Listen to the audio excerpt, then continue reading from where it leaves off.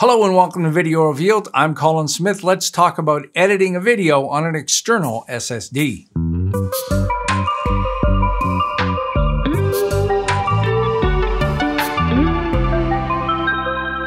So shout out goes to Elaine Ross for suggesting this. We had a conversation and uh, she said, Maybe this would be a good tutorial, and I agree with you, so thank you very much, Elaine. So here's the idea. Instead of editing a video on your internal drive, you're editing on an external drive. And she asked specifically about an SSD, which I think is a really good solution today. SSDs are much cheaper. If you want to see what a SSD looks like, it's this. This is the inside uh, of an SSD.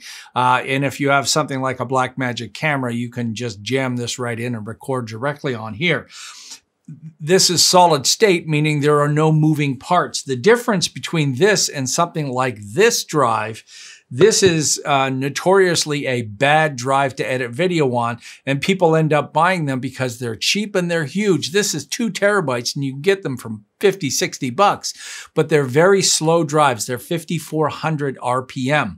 There, there's no revolutions per minute on an SSD. An SSD is just an SSD. It's fast. Good quality ones are fast.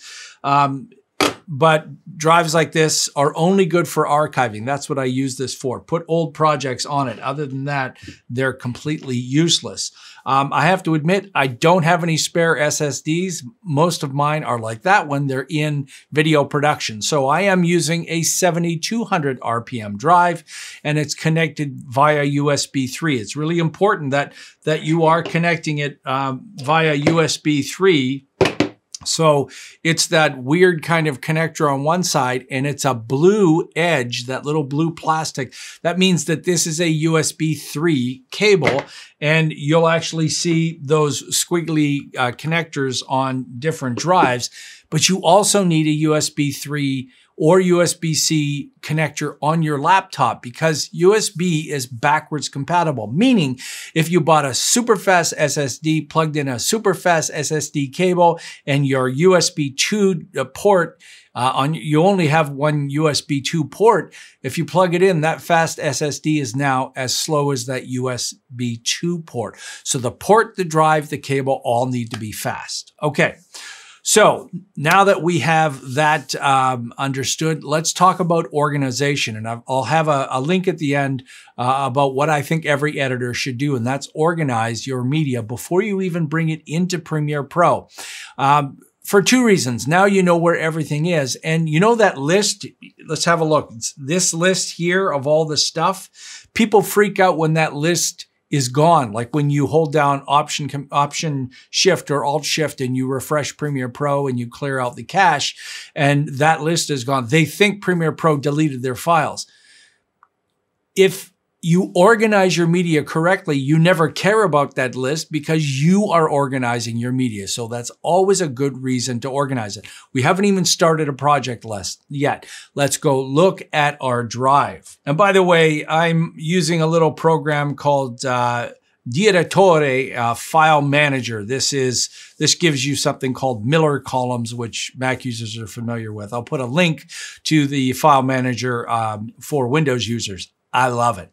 Okay, so here's my 100 gigabyte drive. This is, like I said, a 7200 RPM, but this could just as easily be an SSD. And here I create my project. I'm just calling this my video project. In there, I've got a folder for videos.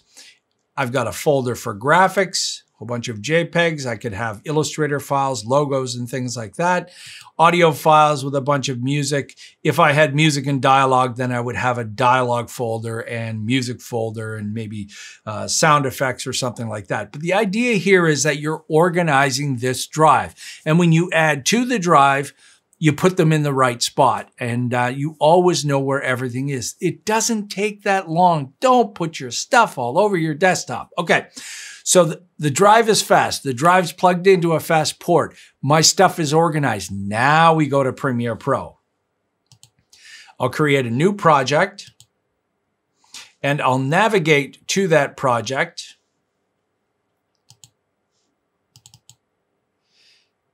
And this is where I'm going to put my, my projects. Some people will create a projects folder. That's fine. That's up to you. I don't manage that many. If, even if I had upwards of 15 or 20 projects, to me, I'm always really looking at the last one. So I just sort them by the most recent, but you could. So I'm going to select the name of this and copy it so I don't have to type it in because I like to have the project name and the folder the same name. Okay, so that's where my stuff is going to be stored. We're on this first page of the new project. Um, this is where our GPU acceleration is. If you've got a fast enough GPU, it'll show up in here. I like to turn this little button on down here, display project name label for all instances. This is turned off by default. This doesn't really change your media. It's, it changes the way things are named. With this turned off, if you named something different in the, in the project bin and you already had it in the timeline, it would not update in the timeline. If you click this, it updates. So you have the same name in the timeline and the same name in the project. Some people don't want this. I want it. The next tab is more important. Here is scratch disks.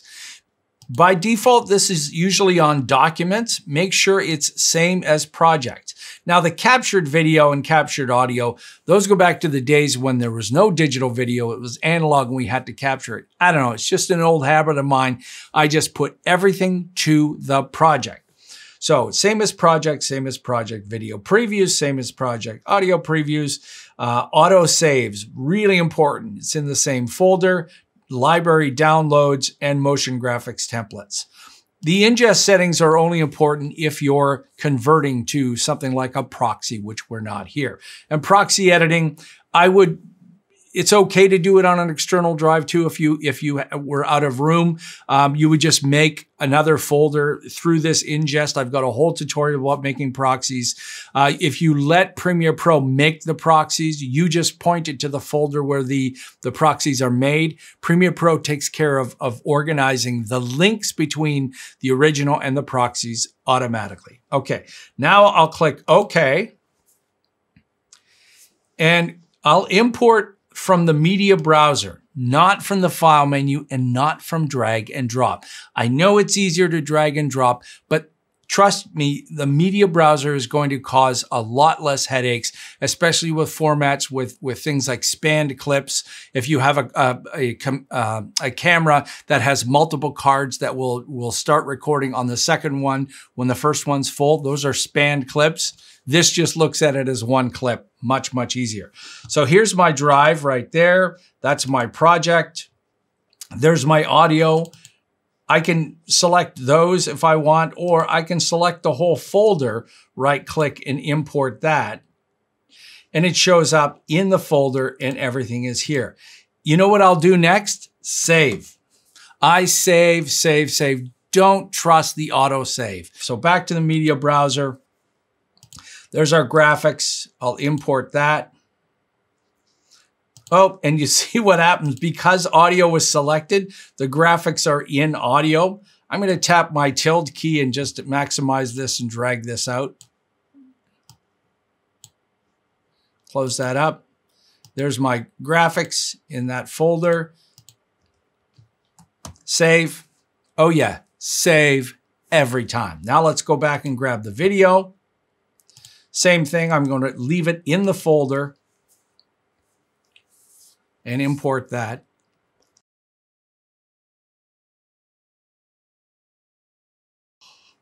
Save right away. Okay, so there are my video files and they showed up. So now I can easily drag those on, start creating my project. I got a bunch of graphics in here. I can drop those in. There they are. And put my audio, music, and now everything is great. Now I hit save. Now let's go look at that same folder and see what's going on. Well, you can see that Premiere Pro created the auto save automatically and it put a save in there. There's my project.